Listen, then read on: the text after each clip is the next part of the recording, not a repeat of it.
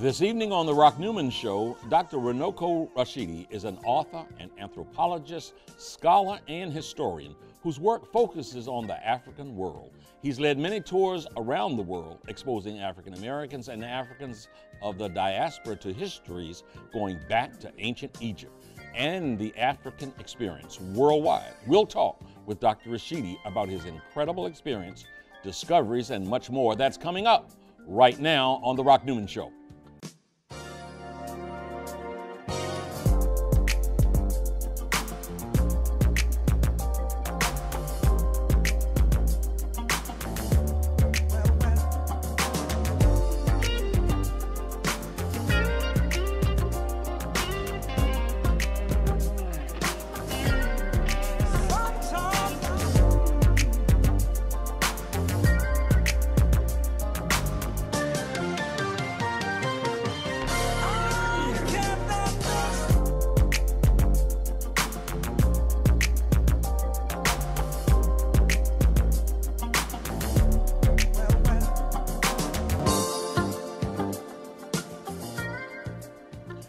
To the Rock Newman Show from the campus of historic Howard University, right here in the nation's capital.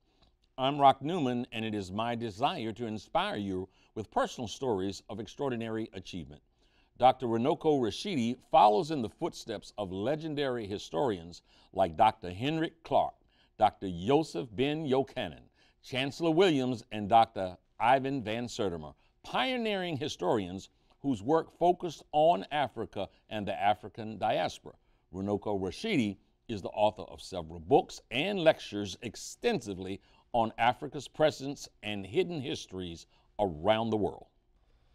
Thank you, brother, for showing up today. Oh, the pleasure is mine. I'm glad to be here. You know, when one Googles Runoko Rashidi, you find many things.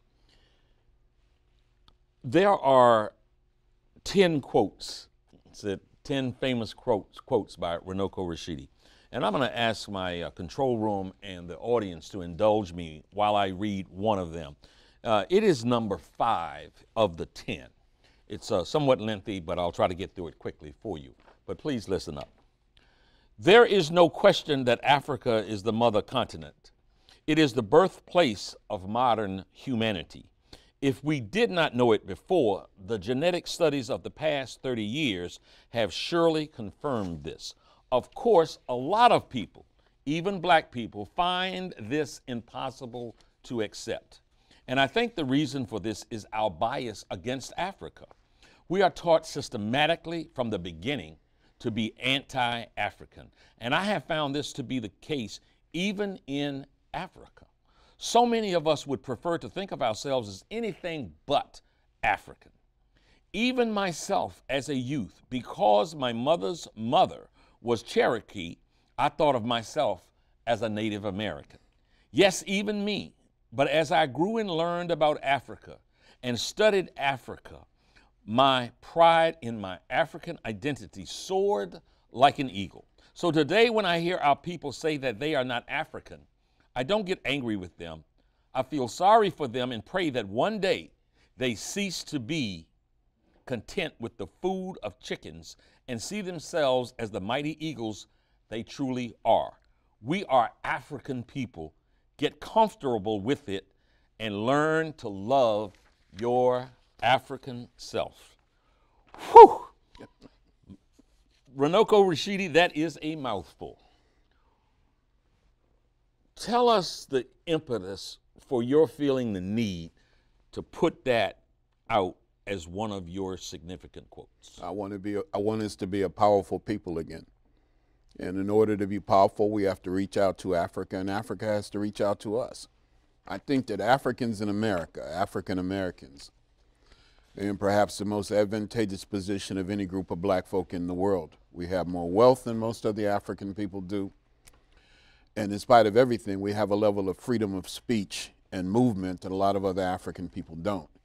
So it's ironic to me that the descendants of people taken out of the door of no return are now in such a pivotal position to shape and mold the future of Africa and the entire African world. Um, that makes me, well, let, us I, I want to stay kind of basic here. All right. fundamental. You said uh, Africa is the birthplace of humanity and civilization. of, of humanity and civilization. So here's what I'd like for you to do as a a- as a professor. okay. I would like for you to validate and justify that statement. Well, I think we've known that Africa is the birthplace of humanity for a very long time, going back to at least the time of the 1930s with the discoveries by the Leakey family.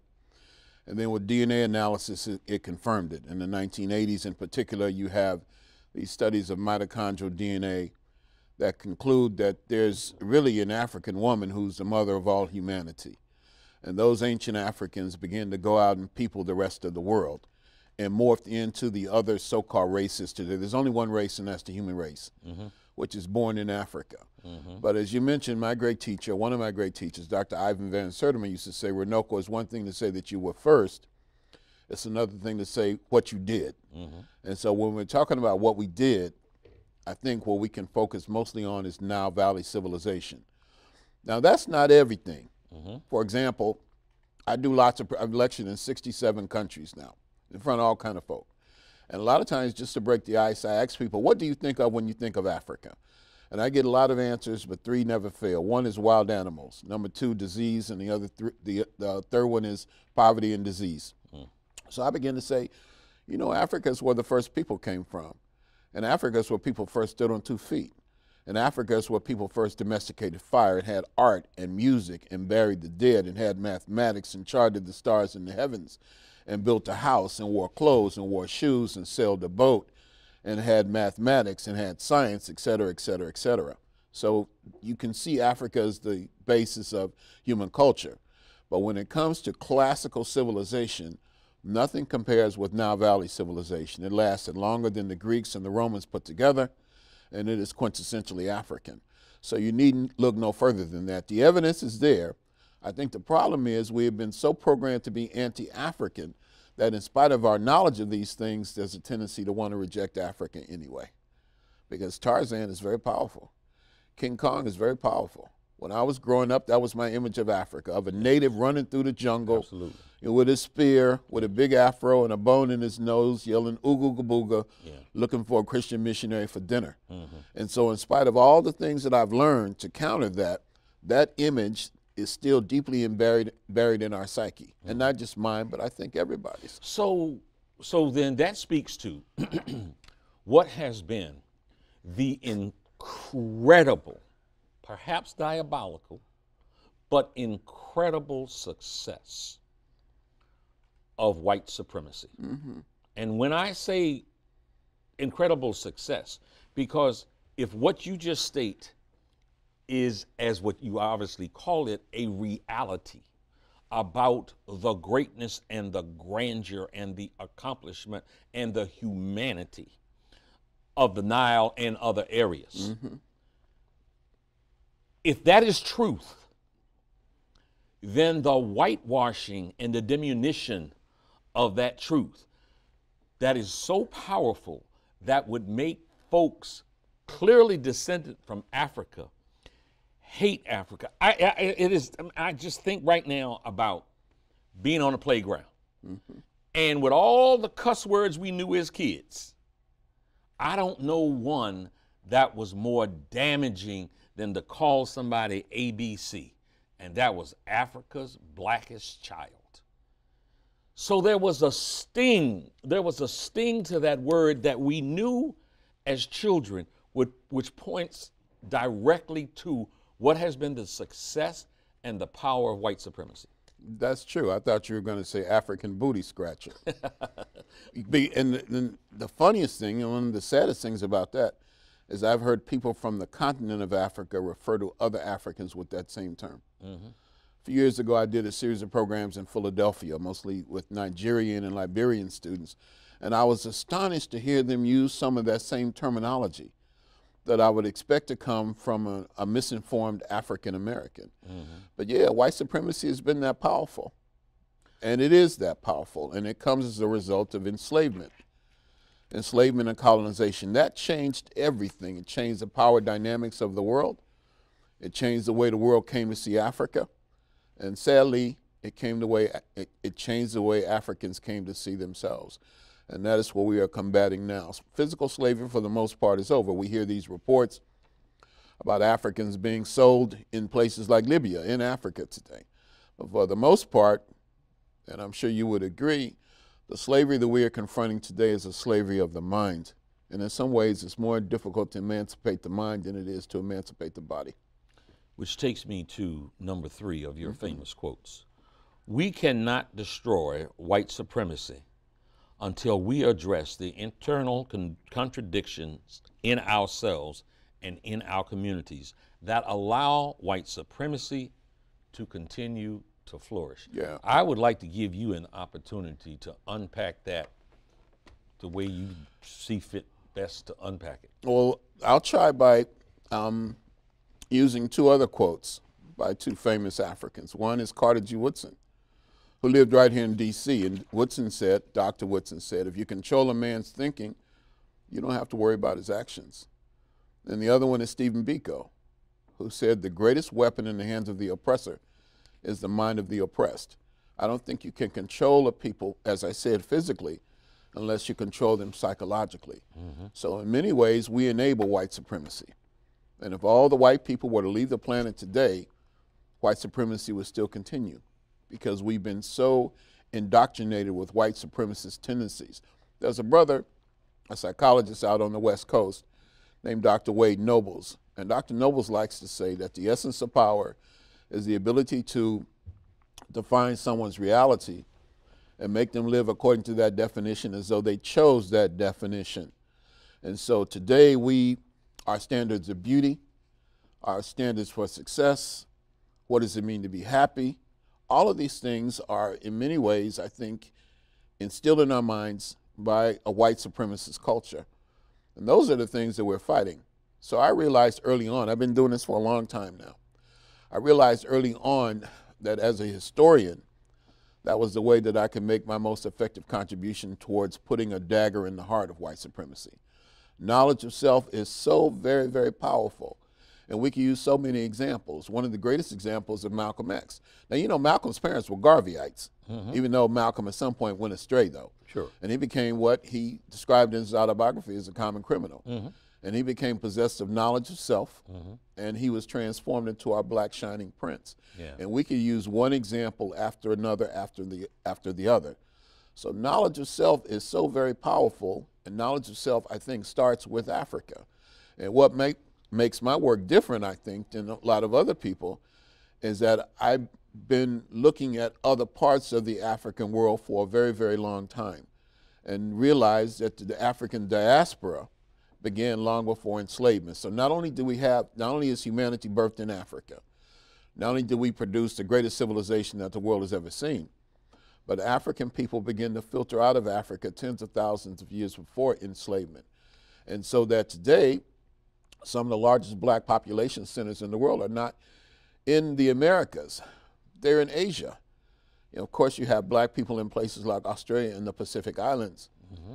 And African people did remarkable things that we need to, to look at. And then, of course, and I know we're going to get into this, you have the role of African people in classical civilizations in other parts of the world. Even in the Americas, we have the Olmec civilization, the parent civilization of the Western Hemisphere, and clearly there was an African element there. Mm-hmm. So we have a history, I would say, it's the greatest story that's barely been told. And it's just delightful to me to be a part of the telling of that story. So Boy, I said to you before. We're covering a lot. I said we? to you before we started. I wish we had two or three hours for this. Just to start. Yes, because here's where I want to go. You just said something. You just said Africans started 10,000 years. Tens of thousands. Tens of, of thousands of years. But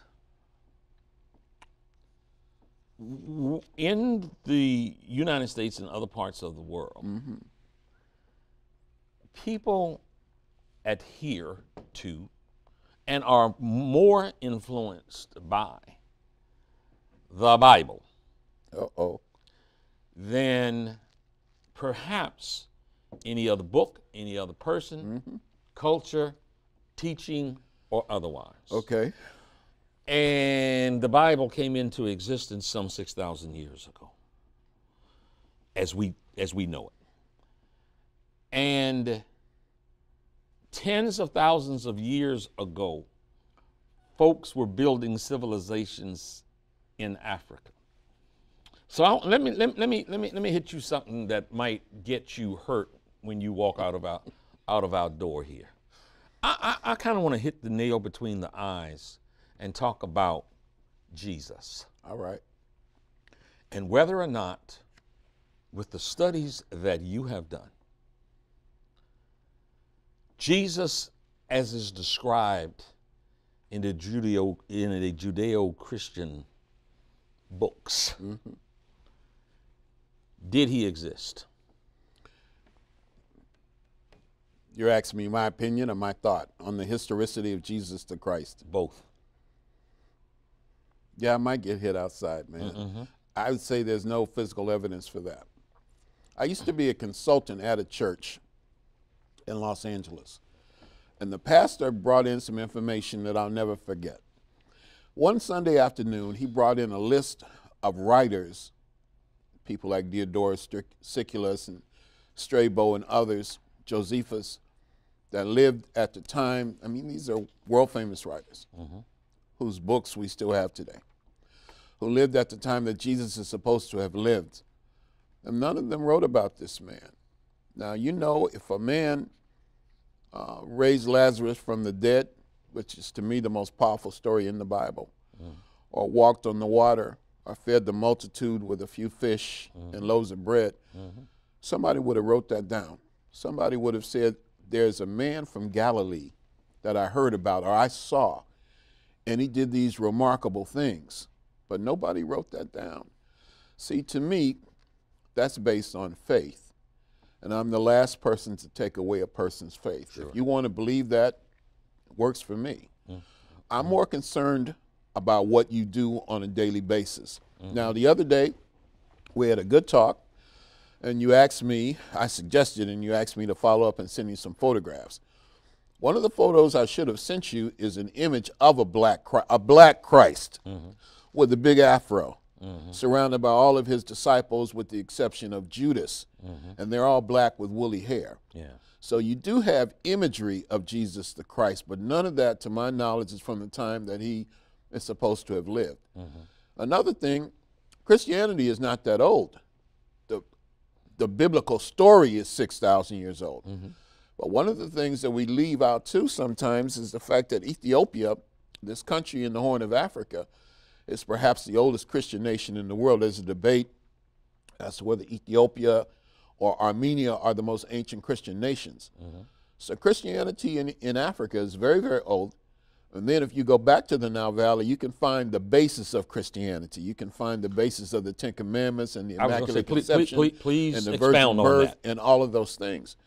And this is one of the reasons that Egypt, we call it Kemet now. That means the black city or the black community, but the world knows it. At e- the world knows it as Egypt of the pharaohs is so important because so much happened there that affects modern humanity and the way we see the world. Mm-hmm. And so there's been a concerted effort to take Egypt out of Africa. Yeah. And a lot of us are attempting to combat that. Taking Egypt out of Africa would be like taking Greece and Rome out of out of Europe. Mm-hmm. It's African classical civilization at its finest. Mm-hmm. And the Christian story, the roots of virtually every other major story can be found there. And so it's very, very important. You know, if I might introduce uh, this uh, We can talk about anything you want to talk this about. this this experience I had in New York. Uh-huh. I re- recognized the name of a cab driver Okay. as being Egyptian, and we had a little conversation. It was fun, um, and I said to him as I was as he was slowing down, I was getting my money to pay him. I said, I hope the next time I come here, my my African brother will pick me up. Mm-hmm. And he damn near lost his mind. He said, I am not African. Mm. I am from Egypt. I am oh. I am Egyptian. Mm-hmm. And I got out the car and I felt a sense of depression. He was so absolutely adamant and offended that I had called him an African And once again, I thought the extraordinary pervasive power of white supremacy. Well, I would say a couple things. That would be like comparing the President of the United States today with a Mayan or an Aztec. You're both Americans, but very different kinds of Americans. Now, most of the people, at least a significant portion of the people who live in Egypt today, are not the original Egyptians. Their ancestors were not around when those pyramids were being constructed. Mm-hmm. They're the descendants of Arab invaders of North Africa. Now, I've been to Egypt many times. I take groups to Egypt. Right. And it never fails when I'm in Egypt if a person, a well meaning person, like the taxi driver, comes up to me and says, Well, Dr. Rashidi, since you're in Egypt, you might as well go to Africa. As though Egypt and Africa are, in sep- are, are separated. Yeah. The official name for Egypt today is the United Arab Republic. Mm-hmm. And so while Egypt is in Africa and has always been in Africa, most of the people who are there today are not African mm-hmm. and don't see themselves as African. They are mm-hmm. the descendants of invaders in much the same way as those white folks in South Africa who are now claiming to be Africans are the descendants of invaders. Mm-hmm. There's an expression, I think Kwame Nkrumah says it, you're not an African because you're born in Africa. You're an African because Africa is born in you. And just because you're born in Africa doesn't make you an African. And this is one of the problems that Africa confronts today. Mm-hmm. We have the Chinese in Africa now. You have huge East Indian populations in Africa. And even though there are a lot of black people in India, most of the people who are from India who are in Africa today don't identify with it. You have the descendants of the Boers, the Afrikaners, the Dutch, and Germans in southern Africa. And most of northern Africa, including Egypt, I would call a settler colony. Mm-hmm. You could find the same thing if you went to Libya or Tunisia or Algeria or Morocco or Egypt. Mm-hmm. And it's a problem that Africa is going to have to reconcile. Everybody who is in Africa is not an African. Okay, so studying studying Africa, the civilization that you talked about tens of thousands of years mm-hmm. earlier, and again, its greatness, its grandness, its, its introduction of, of, of humanity, mm-hmm. uh, its introduction of civilization, mm-hmm. the strength that was required, the wisdom, the education that was required. Um, all of those things lifted up humanity, mm-hmm. created civilizations. So, can you help, help us and help the audience understand how that greatness came to crumble and to be defeated? Mm. Well, before we get to the fall, we need to point out that ancient Nile Valley civilization. We're talking about Egypt, we're talking about Kush, we're talking about Meroe, we're talking about a number of civilizations in the Nile Valley, of which Egypt was the most spectacular. First, it lasted for thousands of thousands of years. And so, in addition to talking about how it crumbled, we also, we also should talk about what made it last for so long. Mm-hmm. And one of the things that, in fact, if I were to point to anything that constitutes or was the basis for the long- longevity of ancient Egyptian civilization, I would say, was the family structure. Incredibly close family bond. Mother and, and I mean, husband and wife, um, mothers and sons. I mean, very in, extraordinary. Mm-hmm. Okay. And I think that over a period of time, Egyptian civilization, it just got old.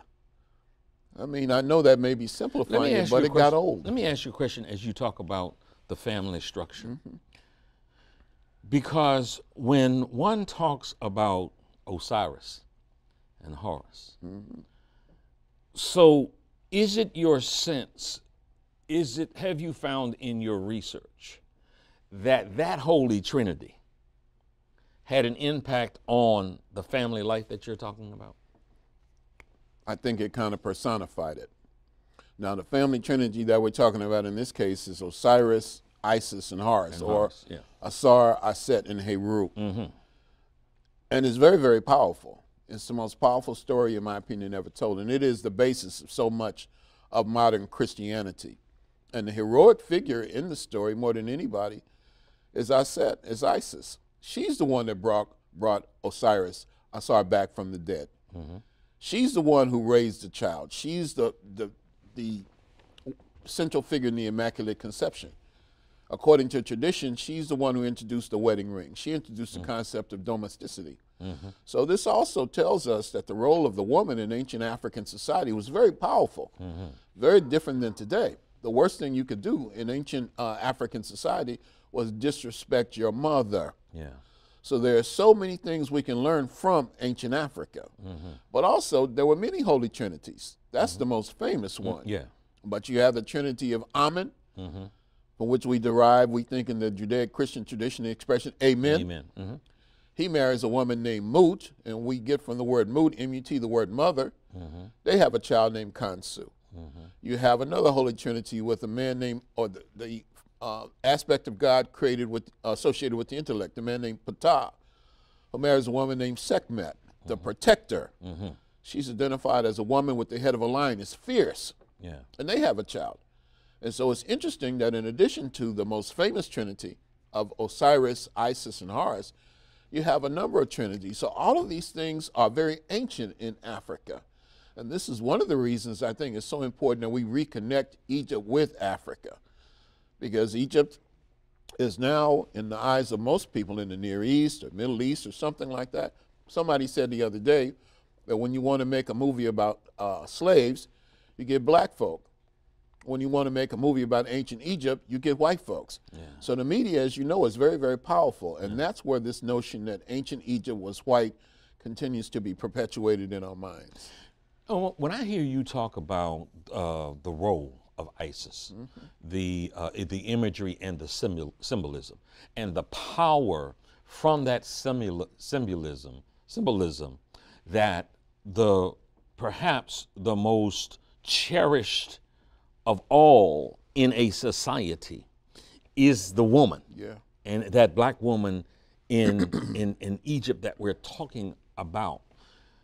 It makes me think about children in elementary school and junior high school and high school today. That if, and I'm talking about black kids, if they did understand the history, would we ever be celebrating a Lil Wayne?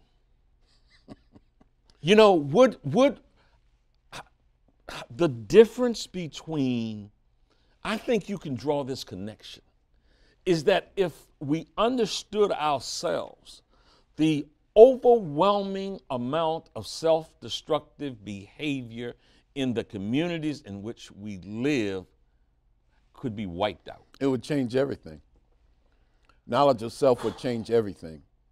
And we should say, to the first point that you alluded to, that the African woman is the mother of humanity and civilization. Yeah. I love black women. Mm-hmm. And not just because I'm a black man, Yeah. but because black women have played such a pivotal role in world history. And it's a story that needs to be told.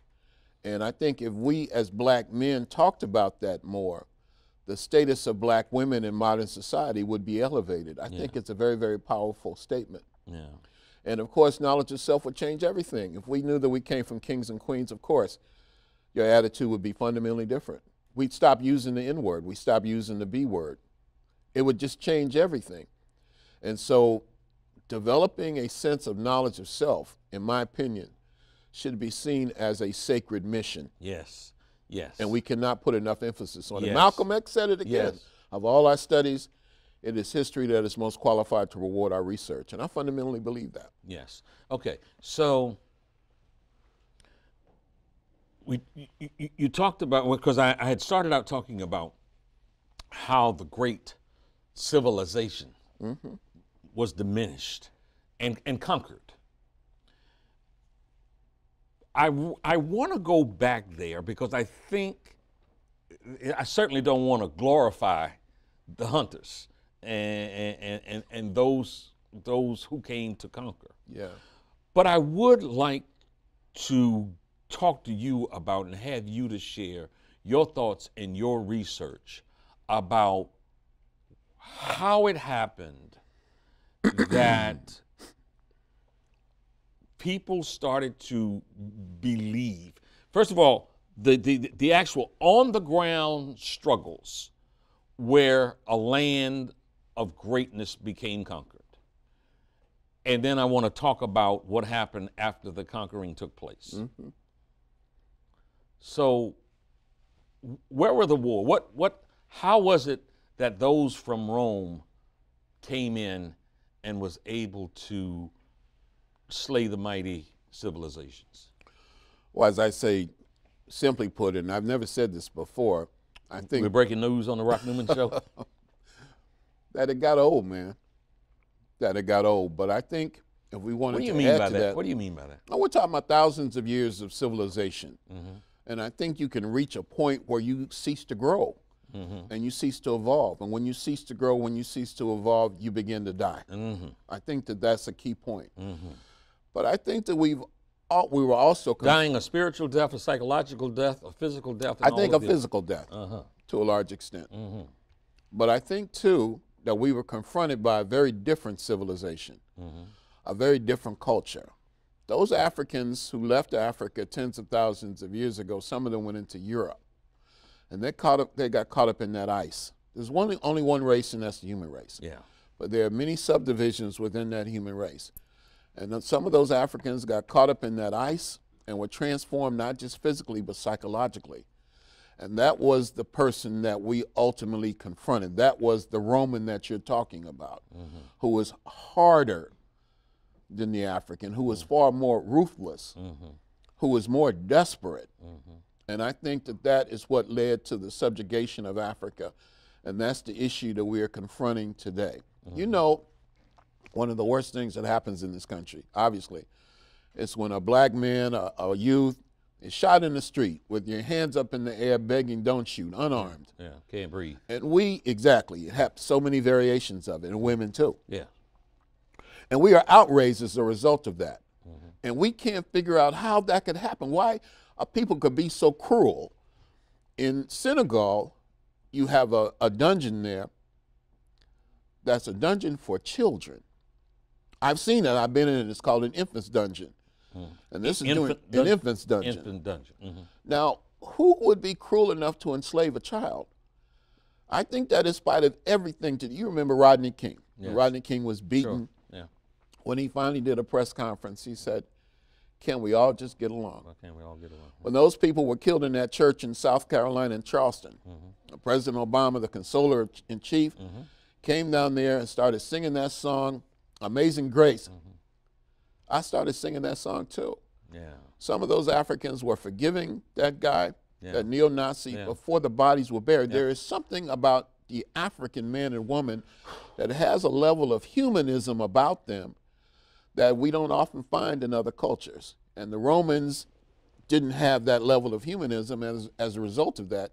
In addition to the crippling effect of old age, that ruthless personality was able to subjugate Africa. And we're still confronted with that today. That's know, why I use those more contemporary and, and- examples. and so, you know, as the scholar who knows a whole lot more than me, but might one equate what happened there with what happened to the natives Yeah. here? Yes.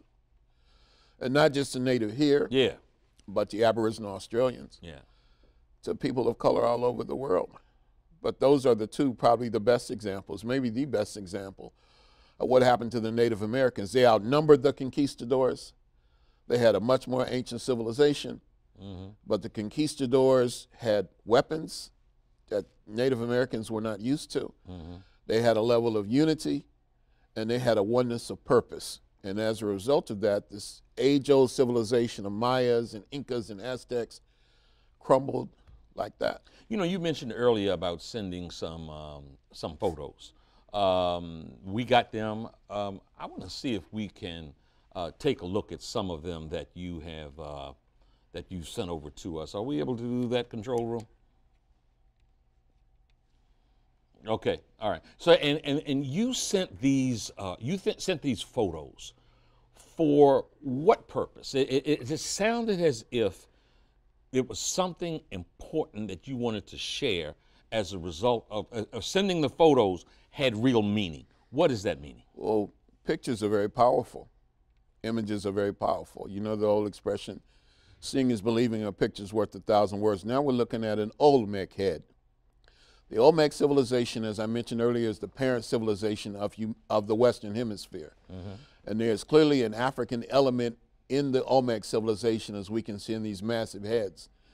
And there are 20 of these heads. I'm the only person I know that's examined all 20 of them that we know of. Even when Dr. Van Sertima wrote his book, They Came Before Columbus, only 12 or 14 of those heads were known. Mm-hmm. Now we know of 20. And this is not only one of the more powerful looking heads, this is over 3,000 years old, but this is the head with the braids in the back. The one you're looking at right now is called El Rey. That means the king. So these heads, more than anything else, show a powerful African presence in the Americas thousands of years before Columbus and thousands of years before slavery. I say that because I've been arguing for a long time that the worst crime you can commit is to teach a child that their history began with slavery. Now, I've been able to collect now maybe a million, I'll say half million original photographs, photographs that I've taken myself from museums, tombs, temples around the world, and they tell a powerful story of African achievement, and they say it more powerfully than I could even I could express it in words alone. That's why the pictures are important. Um, uh, they came before Columbus. That's I've, the cover of Dr. Van book. Yeah. Mm-hmm. Talk about him for a moment. Great scholar, great man we produced some great, great, great scholars, and Ivan was one of the best, and he happened to be my teacher. And I worked with him for 25 years, and I'm his most prolific student. And his thesis was, he called it his thesis, was the African presence in ancient America. Mm-hmm. So Ivan was a remarkable scholar, and I was blessed to spend a lot of quality time with him. Uh, mm-hmm. Uh, he mentored me, and I hope that I'm doing a good job carrying on the baton, carrying the torch. I, I, I remember we were required to to to to we were required to read his book. Yeah. Ah. Frank Snowden. Yeah, I was know, one of my I know professors. Dr. Snowden's work. Oh, okay. Wrote Frank wrote Dr. Snowden wrote Blacks in Antiquity, right? Mm, I know. I have the book. Yeah, and I remember, man, just not reading it. I, I mean, you know, I remember him saying to us one day, uh, we were saying we need a pass to get out because we're playing baseball. Yeah. And he's very formal, very passionate about what he did. And he said, I'm going to be talking about Nefertiti's, and I'm going to be talking about, and he mentioned several other, you know, prominent historians uh, in, in antiquity, and you guys are going to be playing a little stupid baseball game. Um, and I thought at the time, you know, what a, you know, he's, border, he's a borderline nut. I have so come to respect him and all of his work and the incredible importance and power of what he was trying to do. A very different kind of scholar, though. A brilliant scholar. Not everybody appreciates in the African centered community Frank Martin Snowden Jr. I would have liked to have met him, yeah. even though if I had met him at that time, I would not have appreciated him like you today. Mm-hmm. But he focused more than anybody else on the African image in Greco Roman civilization. Mm-hmm. The problem I have with Dr. Snowden's work is that he was not prepared to say, that these same black people that we see in the art of ancient Greece and Rome were the ones who developed ancient Egyptian civilization. Mm-hmm. And in fact, he attacked Cheikh Anta Diop, probably the greatest scholar that we've ever produced, mm-hmm. because he was not prepared to say, to acknowledge that African people built the pyramids. Mm-hmm. And of course, that was Cheikh Anta Diop's greatest thing, the African roots of ancient Egyptian civilization. So you have different sets of African scholars. And I admire Dr. Snowden now, but probably had I been a student of mm-hmm. his in the 1970s, mm-hmm. I would have had a very different feeling towards so, him. So there is a theme here, and it hasn't been spoken. Um, but I think that it, it's a theme that is emerging nonetheless, and that is a theme of what should be the importance of Pan Africanism. Yeah. And I had the good fortune to be able to spend some time with Stokely, Stokely Carmichael. Mm-hmm. Um, you know, up until his dying day, he answered the phone, ready for the ready re- for the revolution, ready, re- ready, ready for the revolution. organize, organize, organize. So, how how do we how do we sort of it's like we are up against a mountain so high and so wide and so deep. Let's talk about how we start to chip away at that mountain. Well, for one thing, we must be thinkers and doers. It's not enough just to know that we built the pyramids. What you going to do with it? Mm-hmm. But see, we have that problem in our community. I do pr- programs, and people say, "Well, Dr. Rashidi, what you're saying is good, but I ain't got time to study. Mm. I'm confronted with the issues that are in our face right now." Mm-hmm. Well, we must be thinkers and doers. Kwame Nkrumah, the ultimate Pan Africanist, used to say, "Thought without practice is empty, and action without thought is blind." So I'm a Pan Africanist and I'm a historian, but I also realize the importance of community activism. Mm-hmm. For example, unlike some of my colleagues, I think it's very important that we go to the ballot box, mm-hmm. that we sit on juries. I don't know if you can complain about police brutality or the political system if you're not willing to partake in it on some level or another. Mm-hmm. Whereas there are those of us who just completely dismiss that. Yeah. So we must we must be activists but we must also never lose sight of the importance of history. Mm-hmm. And so I knew Kwame Ture as well. I knew him when he was Stokely Carmichael, and then it's Kwame Ture. Mm-hmm. And I was a member of the All African People's Revolutionary Party. Okay. And I admired him so much. He was a, a great shining hero, yeah. fantastic orator. Yeah.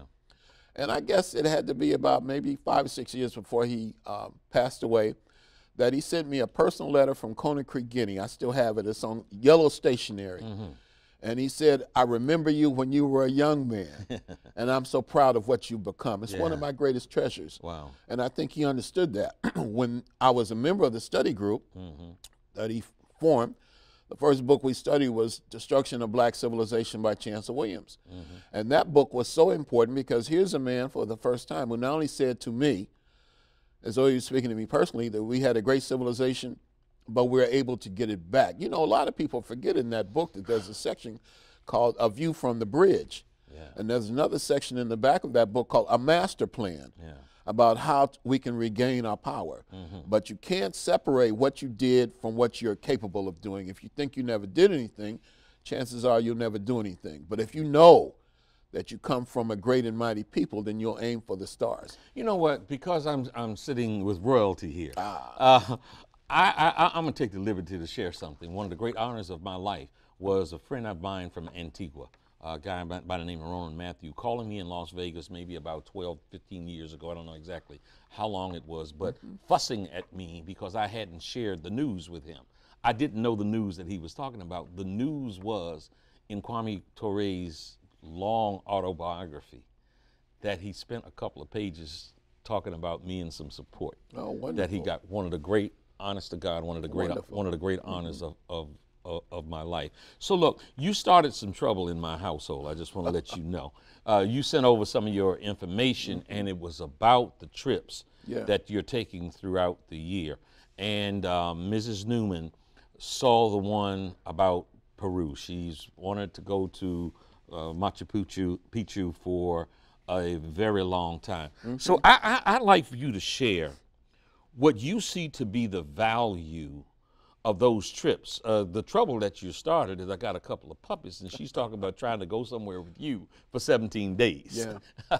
so, so talk to me though about that trip. You've got another one uh, where you're going to Tanzania. Yeah. Uh, you got another one. Where's the third one? Uh, Egypt and then Sudan. These are the Egypt, and then you expanded over into in, in Sudan.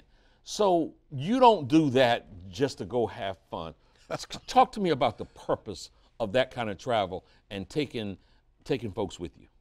Well, we do try to have a little bit of fun. Okay. And uh, you know, there's plenty of shopping. Mm. But I do African heritage tours. I've been doing them for 20 years now. I'm a historian who gives tours. Mm-hmm. And this year, this June, we do a tour too. It's called, I think, um, Peru, the Golden Sun Heritage Tour, something yeah, like that. Yeah. And we visit black communities in Peru. I was going to say because yeah. in the brochure it talked about mm-hmm. the African, the African um, um, uh, presence, the African presence. There. See, a lot of people don't realize there are black communities all over those Andes countries: Colombia, yeah. Peru, Ecuador, Bolivia, etc. Yeah. So you do that. We're going to spend some time with the black saint, Saint Martin de Porres. Mm-hmm. And then, of course, anybody that goes to Peru needs to go to Cusco. They need to go to Machu Picchu. It's spectacular. So we do that. And then in August, uh, we I take a group to Tanzania, Zanzibar. Yeah. I was in Zanzibar last uh, May. Fantastic experience. There, we also explore the East African slave trade.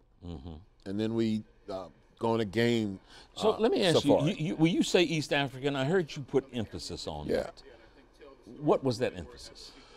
Well, when I went to Zanzibar last year, last year I took a group to Kenya and Ethiopia. And so after the group, after the tour was finished, I went on my own to Zanzibar, thinking I was going to have a holiday. Zanzibar is an island off the coast of Tanzania. Mm-hmm. And the ancestors just seemed to take over. And they seemed like they wanted me to know more about the East African slave trade. And in many ways, it's as horrible, if not more horrible, than the transatlantic slave trade. The difference is the volume of people involved wasn't as great. Mm-hmm. But this also tells us that Africa has been impacted by many, many calamities the East African slave trade, the transatlantic slave trade, the Indian Ocean slave trade, the Saharan slave trade. And all of these things impacted Africa and denuded Africa of, of its population in large measure.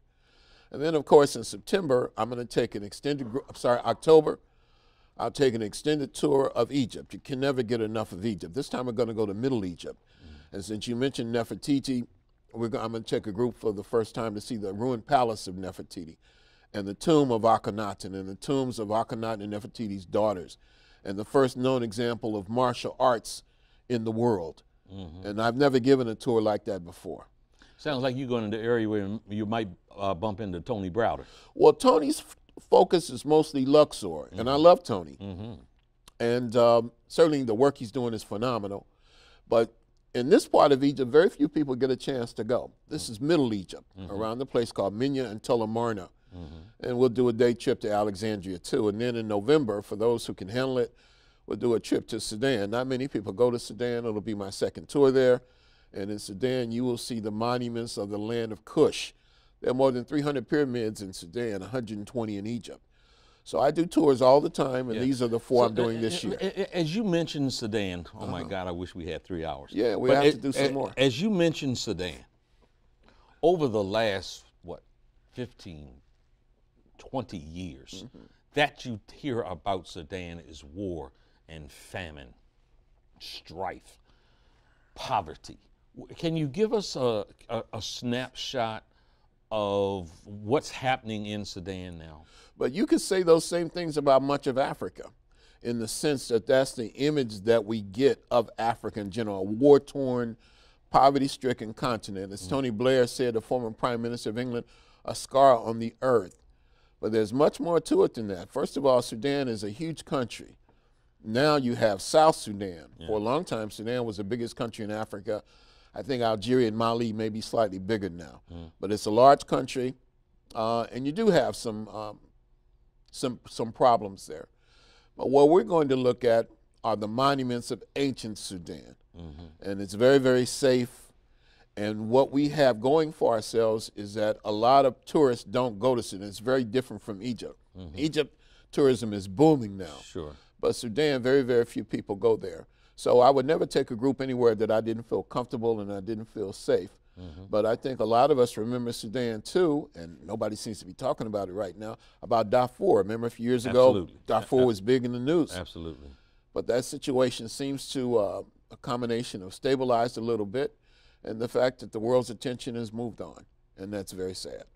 Um, this is, we are close to the 15 year ro- war in Rwanda. Yeah, You've been there? I have. Talk to us about Rwanda. Rwanda is one of the most beautiful countries in the world, physically and in terms of the people. Rwanda is incredibly beautiful. So I went there, and you know, it was a it was, it was a catastrophe. And people told me when I was there that it was actually worse than it was reported in the news. The But war. the war, the genocide is called. yes. But now you can't really, I mean, it's, it's very different. For example, you can't say I'm Tutsi or I'm Hutu. Mm-hmm. You say I'm Rwandan or I'm African. Mm-hmm. And in a sense, in spite of that terrible catastrophe, there are some positive things that have come out of it.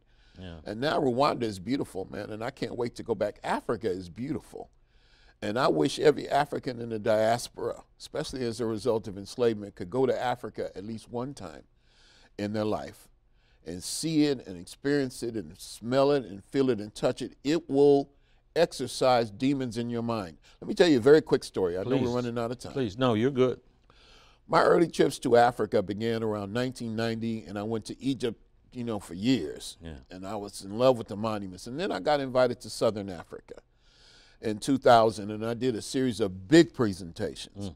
And every presentation I would give, I would start to tell this story in the middle of the talk. I might mm-hmm. be talking about anything. Mm. And I tell about these nightmares I've been having. One was I knew I was in my area somewhere, but I couldn't find my home. I go down this street, this avenue, this boulevard, but I could never find my house.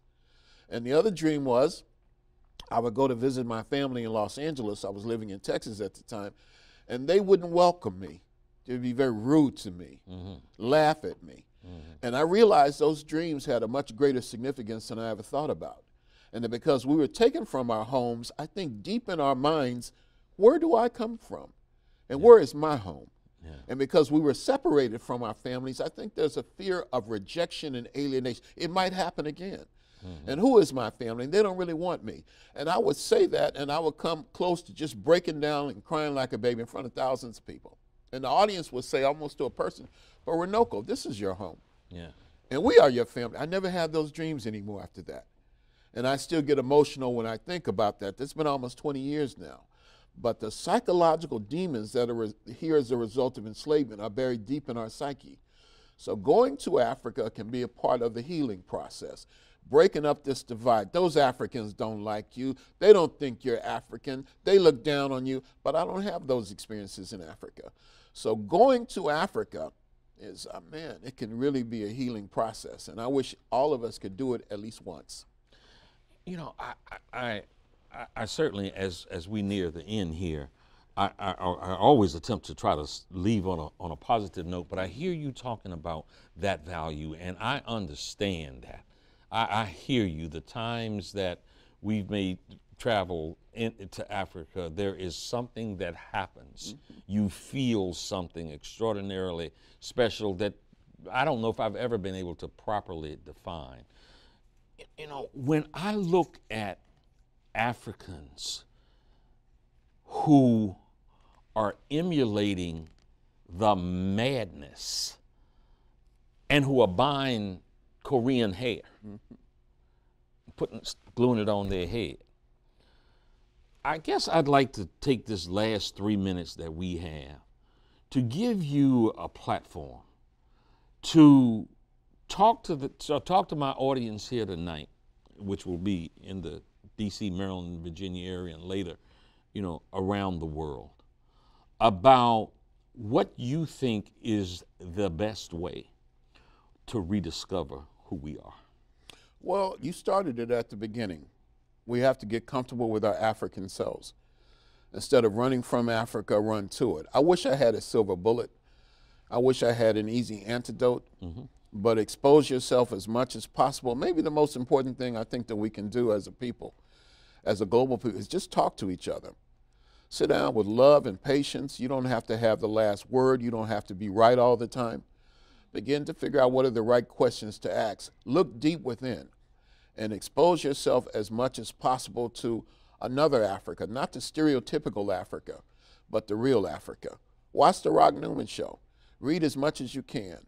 Patronize the scholars. Go to the black bookstores. You know, one thing, one of the most powerful things that has happened I think, in a long time, is this movie Black Panther.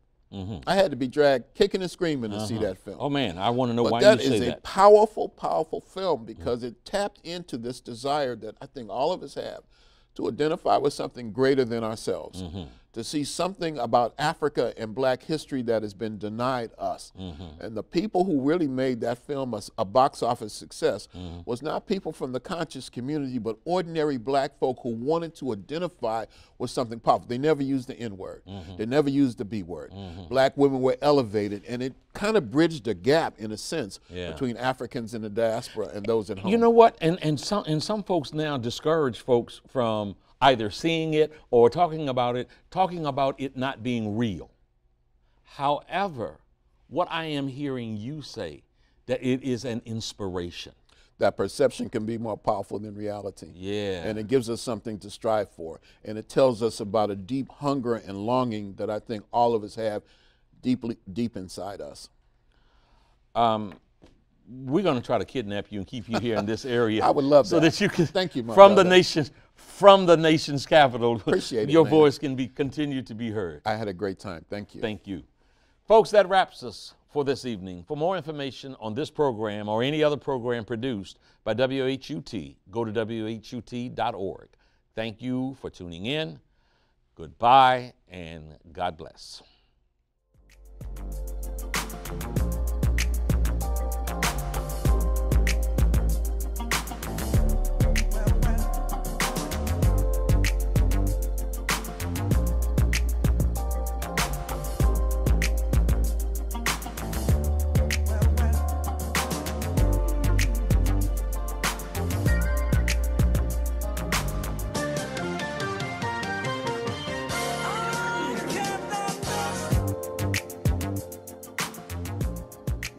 This program was produced by WHUT, Howard University Television, and made possible by contributions from viewers like you. Thank you.